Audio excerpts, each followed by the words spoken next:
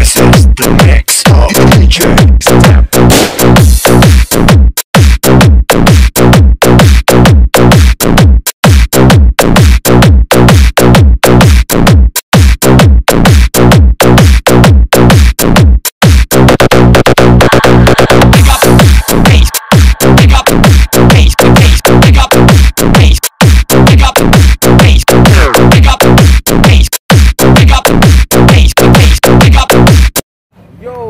Katrike, dito po tayo ngayon sa Manalang Sidecar at ah, papakita natin kung paano inumpisahan ang ah, isang sidecar mula sa skeleton hanggang sa mabuo siya.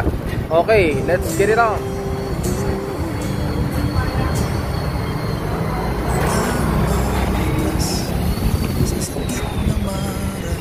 Ayan po, pasok po tayo ngayon sa Manalang Sidecar at ah, titignan natin ngayon ang paano umpisahan ang isang sidecar mula sa skeleton. Shout out! Ayan si Kuya Arnold. Siya yung tagabuo ng chassis 5.8 ng ginagamit na standard. Yun. Yan. Yan ang paano umpisahan ng isang chassis. Mula dyan. Ito yung pattern. Dito sa isasalpak. Yan. Ganyan lang. May mga sukat yan, mga katrike. Masalimutang sukat yan. centimeter by centimeter, inches by inches. So, yun. Tapos yan, tapos ng skeleton, gagawa naman ng mga pangbalot, pang, pang side kit. Ayan, sidings, pang samano, tapos sidings, Tapos niyan, bubuuin na siya. Tulad nito. Binubuo. Si Kuya Arnold. Kuya Bernie. Ito. Ito, galvanized lang to. Mura lang to. 11,000.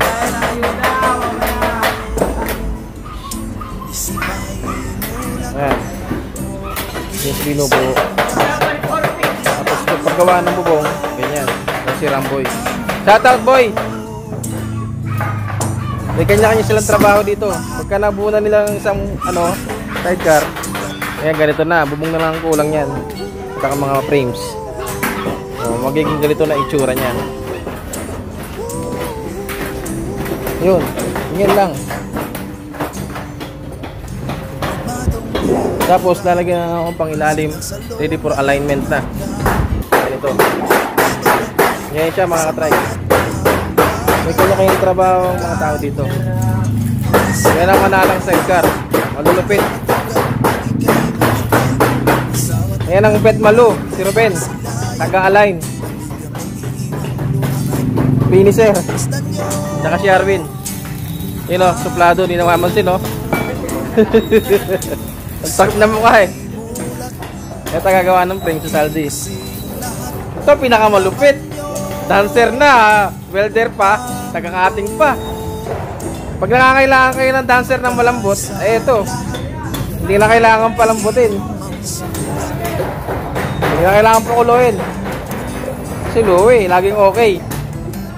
Okay. Ayan, ready na pa, ready na to pagka nandiyan na yung single, tapos lalagyan na lang siya ng side wheel. Ready, ready na siya. Ayun yung pangilalim niya sa spring. So ayan mga katrike. Sana nabigyan ko kayo ng konting idea kung paano ginagawa ang tricycle sa manalang sidecar. Ah, by the way, kasi kaya konti kami, pinapasok ko lang sila dahil mayroon pang ah, lockdown, social distancing. Kalahati lang ng mga tao ko pinapasok ko. Yung iba, nasa probinsya pa. Kaya MWF, TTHS ang mga ano dito, mga trabador.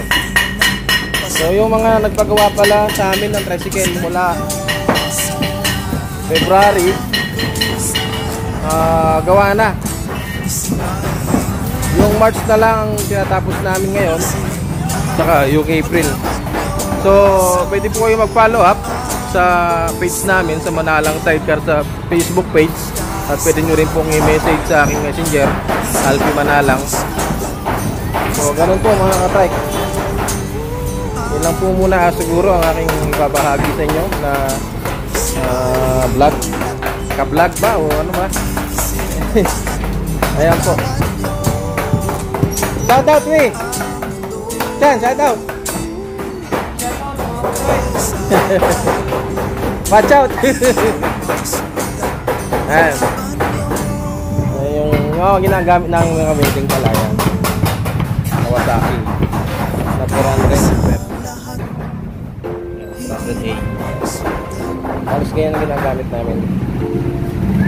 Ah, mga ka-trike, ngayong panahon ng pandemic, kung hindi pa po kayo makakapunta dito, eh, magpa-abiso lang po kayo. At yung mga makaka- makakapunta naman, eh, abisuhin nyo rin po kami para may handa namin yung sidecar.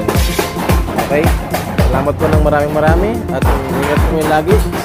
Stay safe, keep safe, and stay healthy. So, yan po. Manalang sidecar. Located ba? Located dito sa Barangay Kaligayahan.